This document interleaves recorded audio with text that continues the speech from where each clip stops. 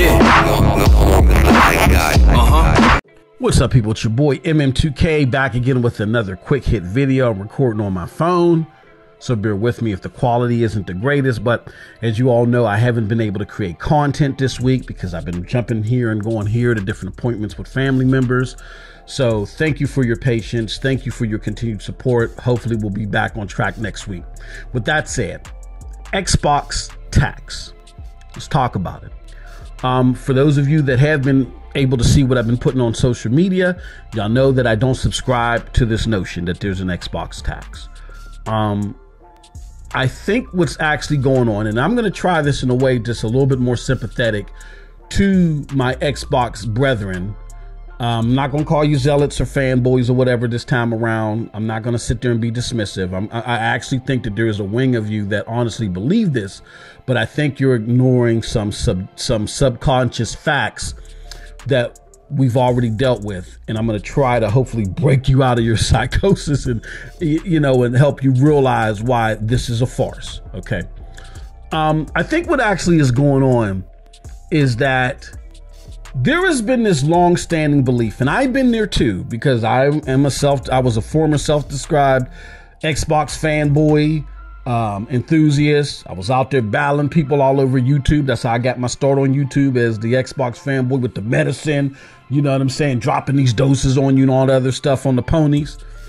Um, there was this belief, especially back then, that PlayStation games were overrated because they were interactive movie experiences, looked great, had great cinema to them, storytelling, but they were crappy in their gameplay, in their level design, the AI, all that stuff.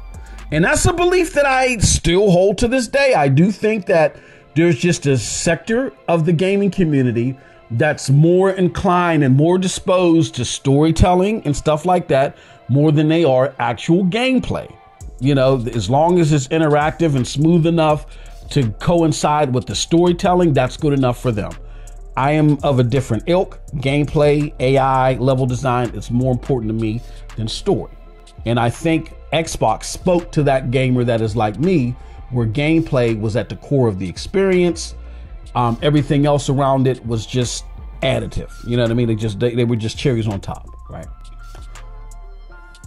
And because of that, we've always argued like, oh man, these PlayStation games aren't really that great, but they're, they're getting these accolades or whatever. And we would look at our experiences that had more focused on gameplay, and we felt like that the gameplay part was getting slighted. So I understand that, but I'm here to tell you that's an old debate, it's an old notion. It no longer applies, so therefore now it's a farce. Because here's what's happening and I discovered this with God of War 2018. If y'all remember, y'all been following my content long enough, with God of War 2018, what I did is I went and I rented a PlayStation 4 because I was going to pull this stunt. I was going to show on behalf of my Xbox brethren, look, you don't really need a PlayStation. Their games are overhyped, their cinematic experiences you can beat in a couple of days, and I'm going to send this damn thing back, you know what I'm saying, and be done with God of War and never be the wiser, right? And I ended up keeping that thing for play the PlayStation 4 for four months, right? Not because it took me four, it takes you four months to be God of War, but because the gameplay was actually so engrossing and and and so enjoyable that I, in between me playing a whole bunch of other stuff that was coming out at that time, I wanted to finish that story, and I did. It's on my YouTube channel.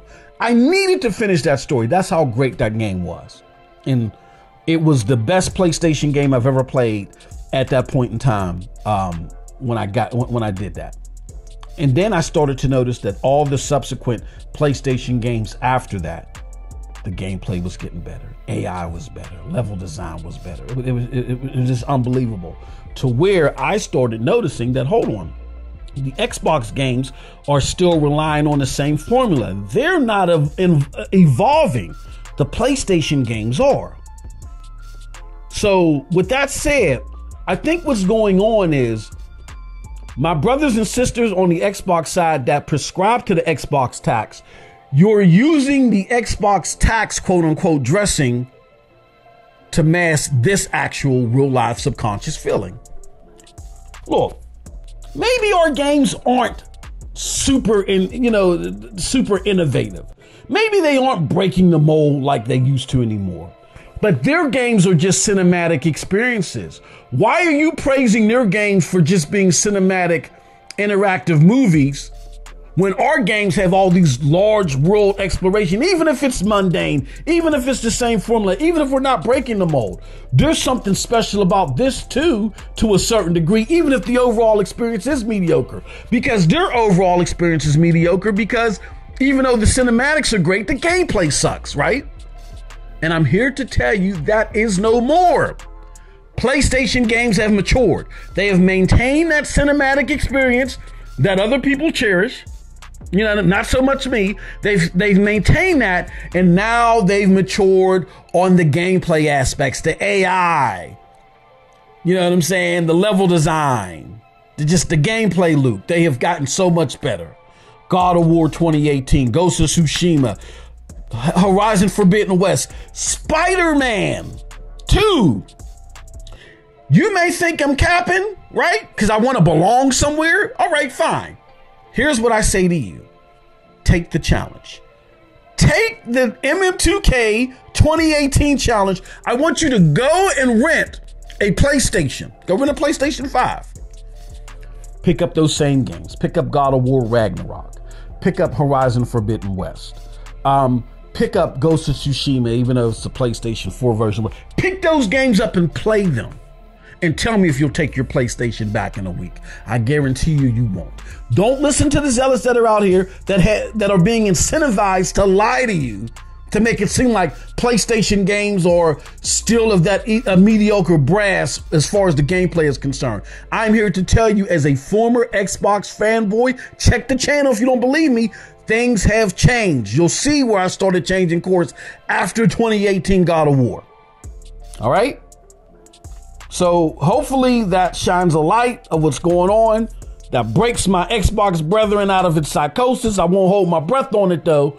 But again, you guys are trying to use this Xbox tax as a mask to cover up the fact that you're looking at your mediocrity and you're thinking that the that a, a different variation of mediocrity is still across the street. No, you're still dealing in, in mediocrity where they've all around enhanced what they present. And that's why, as of today, their games deserve the accolades. And unfortunately, what Xbox is putting out there just doesn't. It, ha- it has to get better. That's where you guys need to be fighting. The fight should be taken to Sarah Bond and particularly Phil Spencer and Matt Booty and say, we need better quality games. We appreciate Game Pass being a value to us or, you know, allowing you to play games at a much more reasonable uh, financial bearing. But we need quality in here. We need quality in here specifically for us. We're not just going to settle for what's out there in the streets with ABK. Everybody's going to be playing Call of Duty. Everybody's going to be playing Diablo. Everybody's going to be playing Overwatch. We want something specific to us that you can only get based off of the dedication to the platform that we've been given. Just like they're getting that over there, we deserve it over here. Those are the conversations to be had, not no conversations that are wasting time talking about an Xbox tax. With that said, that's it from your boy. Appreciate y'all support. Hopefully, we're back on track next week. And if you want to follow my content, definitely check out the links I'm gonna leave here to the GEIX Discord. That's our new gamer group where we talk about gaming, we debate gaming, we play game, we play game. I mean, it's a whole gamer thing going on over there. Definitely, and everybody's welcome, regardless of what your favorite brand is, platform, all that stuff. Everybody's welcome. All right. With that said, appreciate all y'all. Thank y'all for coming through. Till next time, have a wonderful gaming day. Peace.